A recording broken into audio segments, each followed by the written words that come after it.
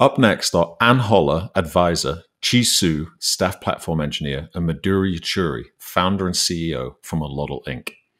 They will be talking about the suitability of Kubernetes running on public clouds as a deployment platform for Ray. They will share experiments with Ray deployed on nodeless Kubernetes, the lessons they learned, and suggested best practices. Good afternoon. I'm Anne Holler, and I'm happy to be here with Chi Su to talk with you about some experiments we recently ran on Ray on public cloud Kubernetes. We'll talk about three execution environments in which we ran those experiments. We'll discuss the lessons we learned, and we'll suggest best practices based on attributes of those experimental environments. In this talk, we'll first introduce Ray, then we'll give an overview of the machine learning experiments we ran on Ray using the Ludwig ML Toolbox.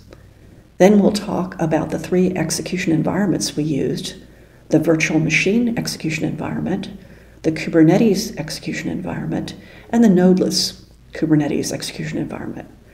We'll describe the pros and cons of each, and we'll wrap up with the lessons we learned and the best practices for based on the attributes of each of these execution environments. So, what is Ray? Ray is an open source project that provides a simple, universal API for building distributed applications. There's a number of different systems for building distributed applications, but typically they involve either very low level operations such as MPI or very high level operations such as Spark. And in either case, the way they're structured is very different than the way the original signal machine, single machine code was structured. With Ray, users can parallelize existing single machine code by basically annotating their functions to turn them into tasks and annotating their classes to turn them into actors and making little or no code changes other than these annotations. And in this way, the distributed code is very much similar to the original code. And based on this, it's an increasingly popular way of creating and scaling um, distributed applications. Kubernetes can be used as a substrate for executing distributed Ray programs. So here we depict a deployment of Ray in its cluster form. We have, in this case, a head node and two worker nodes. The head node contains the driver, and the driver is what runs uh, the user's code uh, and manages its um, parallel operation using workers. And here we have worker nodes, two worker nodes, and we have on each of these three nodes a Raylet system with a scheduler that's doing the local scheduling and with object store. And the way this object store works is for parallel uh, execution, uh, shared memory is handled as a sharded shared memory controlled by the global control store, and so each of the workers has a part of that shard that's appropriate for the local task being run on this worker.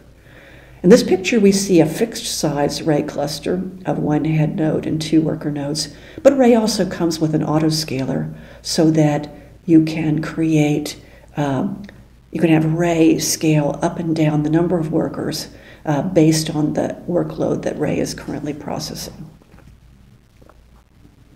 Given the simplicity with which Ray can be used to take a simple uh, serial program and make it a distributed program, it has become very popular for machine learning workloads because data scientists tend to develop a machine learning model as a single small program on their desktop or in a Python notebook, and then later, when the model is more mature, to want to work with the full data set, which won't fit on a single machine. So, given that Ray makes it easy to do that kind of uh, conversion to a distributed version, uh, it is really quite popular and hosts many of the state of the art machine learning libraries. Uh, here's a recent blog post from Walid on how Ray is playing a strong role in third generation production ML architectures. So, one of these state of the art machine learning libraries that runs on top of Ray is Ludwig. Ludwig is an open source project that provides a toolbox to train and serve deep learning models without the need to write code. And this is unusual because typically for writing uh, deep learning models, a fair amount of code needs to be written as well. But the way Ludwig avoids this is by structuring the deep learning models as three stages the encoder stage, the combiner stage, and the decoder stage, and having each of these stages be implemented by standard uh, structures from lower level frameworks such as TensorFlow. Ludwig can utilize Ray to do hyperparameter search, so basically to take a model and look for different settings for running that model that will make it more accurate. Uh, Ludwig can also use Ray for distributed training. Ludwig Benchmarking Toolkit is software that's, in addition to Ludwig, sits on top of Ludwig. It's an open source project for running end to end benchmark studies. Uh, it can uh, take a list of tasks, including different kinds of deep learning models, a list of standard data sets, and a list of evaluation metrics to be gathered, whether they're standard such evaluation metrics like AUC or accuracy, or whether there are things like power consumed during training, and it can run those experiments and gather the results and present them. So we recently used the Ludwig Benchmarking Toolkit on top of the Ludwig Ray platform to run a hyperparameter search study um, using RayTune. And we did this across a set of tabular data sets. And if you've been following the deep learning community, you know that deep learning is considered to be well suited to uh, tasks like image recognition or natural language processing. But tabular data sets have proven difficult to handle for deep learning models.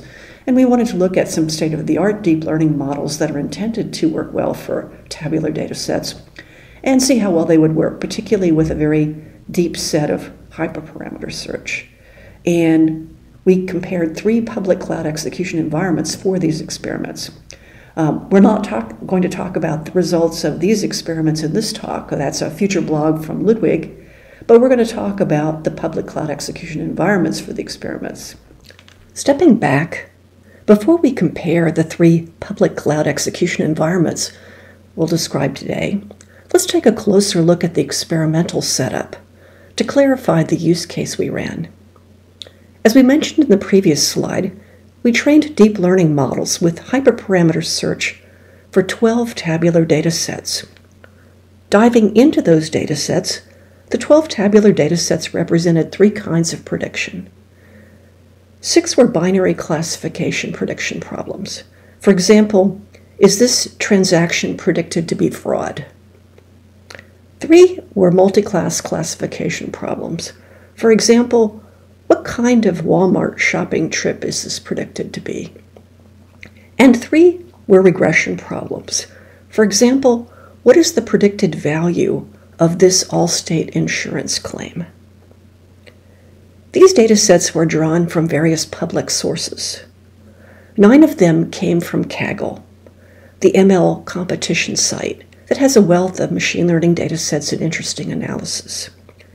Two are from the UCI ML repo, another good source of ML datasets, and one was from GaussianProcess.org, another good source of ML datasets.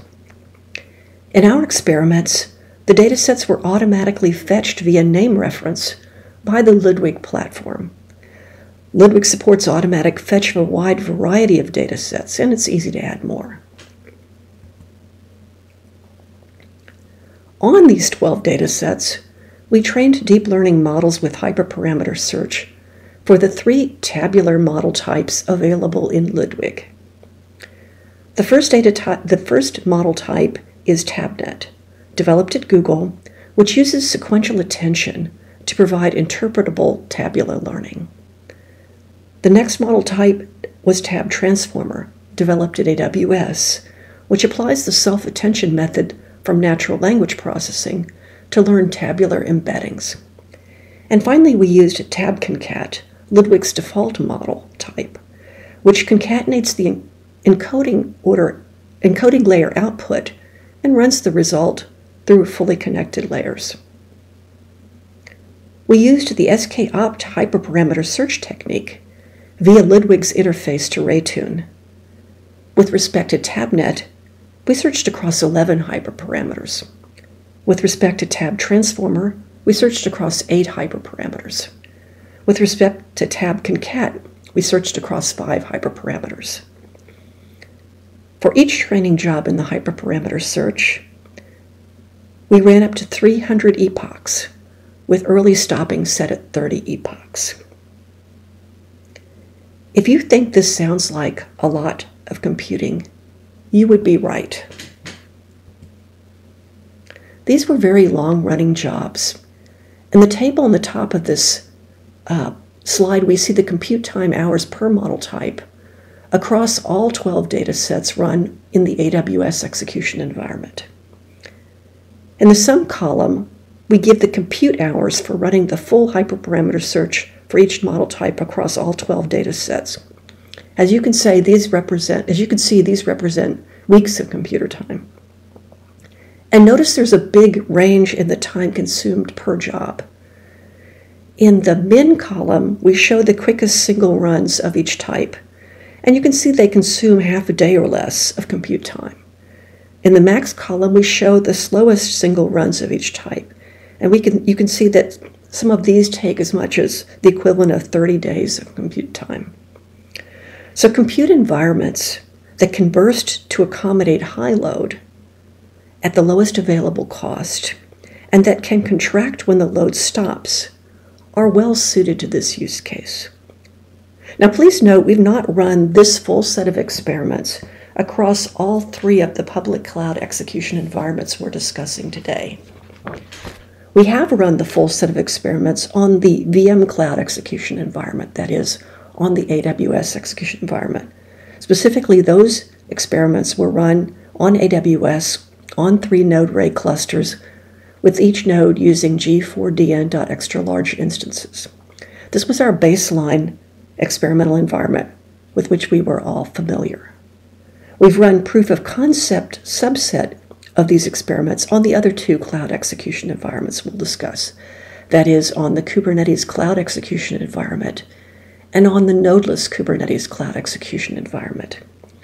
We're planning to run more experiments on the nodeless Kubernetes cloud execution environment given our positive experience with the POC. So now, let's turn to focus on comparing the three cloud execution environments for running this use case. The first public cloud execution environment we used was running virtual machines in the public cloud. And for this execution environment, we used AWS EC2. Um, we used fixed size Ray clusters uh, because we wanted to manage the costs and capacity we were using for doing the AutoML experiments, these experiments of searching for the best model. And we wanted to manage how much of the capacity versus the overall capacity of the organization we were using because the organization um, was also running, let's say, nightly tests and other kinds of jobs, we didn't want to use all of their capacity. We used non spot instances for this work. Uh, the challenge with using spot instances was that we were using GPU uh, instances. GPU instances were very popular in our uh, region, and so we often weren't able to get any availability of GPU instances. And since we were manually running these experiments, we didn't want to try and fail to get a spot instance and then try again. That was just too tedious. Uh, so that's what we did for compute capacity. For storage capacity and storage, shared storage capacity is needed for these experiments. Uh, these experiments create a data set cache for use by the different instances that are doing the hyperparameter search. They create checkpoints and they create experimental results, all of which are stored, in shared storage by the head and the workers. For this, we used AWS S3. So, what were the pros of using virtual machines in the cloud environment? Well, it was simple. It was simple to configure Ray for this situation. It was simple to use Ray in this situation. It's a common path for Ray deployment. This path supported a lot of low level Ray configuration options, um, including setup commands. You know, we were running experiments with where the Docker we had uh, needed some other packages installed afterwards, and it was easy to do that um, and easy to be dynamic about doing that. Uh, we were using file mounts for things like our AWS credentials or our Kaggle credentials. We could share the file, file mounts of a virtual machine in the cloud with our Ray deployment, and all of this was quite simple. So it was, it was a good environment. We liked it. However, it did have cons. So the biggest category of the cons it had were that basically the compute was hand managed. So we were manually tracking the number of AWS instances we were running with respect to the org's AWS limits and with respect to leaving some capacity for other kinds of jobs. We weren't able to flexibly choose the instance and market type, for example, the size and spot instance and so on, because that would have been too tedious to do manually. And as it turns out, we were making various vendor dependent configurations in our system, which were, you know, making it hard, let's say, to move to a different vendor, you know, and this is something that's kind of natural uh, when you're using a system where certain things are easy to use. So thanks Anne for introducing us Ray and the Cloud VM environment. I'm going to talk about the next two execution environments we have and the lessons learned from there. So the next environment we run our experiments in was with Kubernetes. And in this case, we chose the Oracle Container Engine or OKE to run the Ray uh, compute capacity. We also enable the Ray autoscaler to dynamically spin up and down Ray workers which are represented as the Kubernetes pods in the Kubernetes cluster. This is useful because resource demands of the job workload can change dynamically as the job runs. For example, in this workload, uh, training jobs on some hyperparameters may run faster and finish earlier than jobs on other hyperparameters. And of course, we need to reserve a certain amount of compute capacity in the case cluster to make sure the job can be scheduled while it's running. And we also switched from using AWS S3 for the persistent storage to using OCS object store in S3 compatible mode. This is convenient, uh, convenient for us since we are already using the S3 environment and our code knows how to talk to S3. Um, but the S3 compatible mode is not a seamless plug and play from our previous code we do need to make some configuration changes for this to work. So what are the benefits of running Ray on Kubernetes? It was nice to have the automated tracking of instance usage within the org limits. Uh, so we're now sitting there with a spreadsheet tracking tracking down how many instances uh, we are reserving for this hyperparameter search job and making sure there are enough uh, uh, enough instances available for other jobs. And the discipline of deploying our code on Kubernetes reduced um, some of our vendor's basic configuration. For example, uh, we can now standardize the S3 configuration and the Kaggle credentials for both AWS and Oracle in the same way. However, uh, there are some cons even uh, with moving to Kubernetes. Uh, again, we're still in a situation where we don't have enough flexibility in choosing the instance and market types. Before the job runs, we need to determine the types of instance for the job and how many are needed for each, each instance type.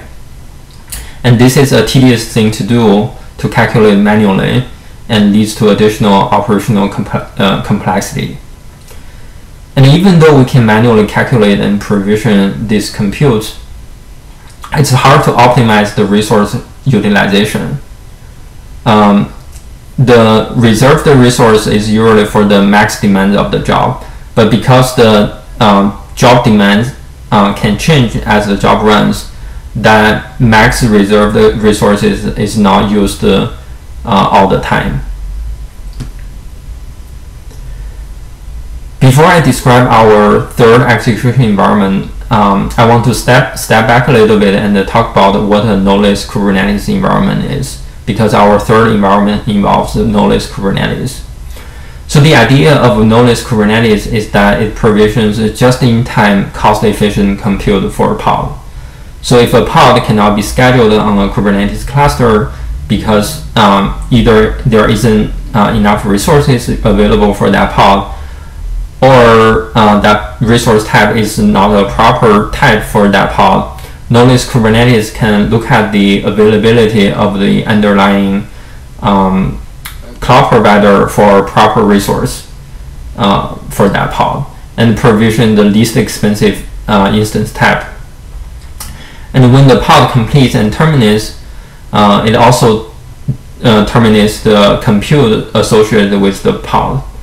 Uh, so, so the Kubernetes cluster doesn't have to be deployed at the max capacity. It can be scaled up and down dynamically with the uh, demand needed for the job. Nodeless Kubernetes also works seamlessly with a variety of popular control plane vendors, um, such as uh, EKS, GK, GKE, AKS, and OKE. So how do we use our um, Nodeless Kubernetes in our third execution environment? Again, we use the Oracle Container Engine for Ray uh, compute capacity.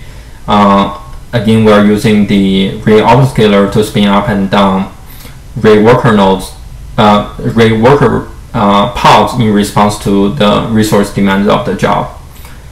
Uh, but now we have the uh, Nodeless Kubernetes component adding and removing nodes uh, to and from the Kubernetes cluster and that's in response of the resource demand of the Kubernetes pods. So what happens now is that the Ray autoscaler will see the resource demand increase uh, of the Ray job and places additional pods to the cluster. Um, and the Nodeless Kubernetes components will see the resource uh, demand increase of the pods and provision cost-efficient nodes to the cluster. So what are the pros and cons of the third environment? Um, again, we still have the benefits of bringing uh, Kubernetes to the environment. Uh, we like that we still have the automatic automated tracking of instance usage within the org limits, uh, and uh, deploying on Kubernetes um, helps reduce the vendor-specific configurations. Um, and now through Nodeless Kubernetes, um, we don't to we don't need to calculate manually um, and uh, determine the capacity beforehand. And at runtime, the Nodeless Kubernetes can uh, flexibly choose the instance type and uh, market type based on the demand. Um, and because the Nodeless Kubernetes scales up and down the nodes in response to the um, job demand, job resource demands, uh, this, to, this leads to improve the resource utilization and reduce the infrastructure cost. Um, there is some cons um, with the Nodeless Kubernetes uh, deployment. Um, so there are majorly two cons we, we see. Uh, this is apparently another component deployed into the Kubernetes cluster and something else to be managed. Um, another thing with uh, Nodeless Kubernetes is uh, rather than preserving uh, other other than reserving the capacity beforehand and having the capacity already available to a pod when when a pod is added to the cluster, Nodeless Kubernetes uh, needs to provision a new virtual machine just in time uh, to respond to the unschedulable pod. Uh, in our experience, this can add 2 minutes to 7 minutes delay to the pod provision time. And th uh, this is not a problem for our experiment because machine learning training jobs are pretty lengthy uh, and can usually run anywhere from several hours to several days. So adding like a two minutes to seven minutes delay is not a huge overhead. Uh, but this is uh, something to keep in mind if you want to use Kubernetes, uh, a Nodeless Kubernetes for your workload.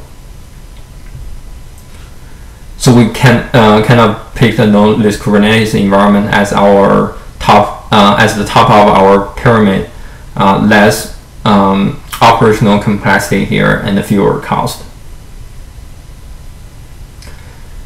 So um, stepping back, what are the lessons learned and the best practices? So we learned that we can run very well in a variety of cloud environments. So that is uh, great. Uh, but we also learned that it's nice to choose the environment that's appropriate for your workload upfront because there are some switching costs. If you switch de uh, from deploying on uh, AWS EC2 directly to deploying on Kubernetes, there are some differences uh, differences in supported options that are available in terms of um, worker setup commands, in terms of uh, credential and configuration management. Uh, if you switch between vendors, the vendor differences can be subtle, and uh, addressing those differences can be difficult.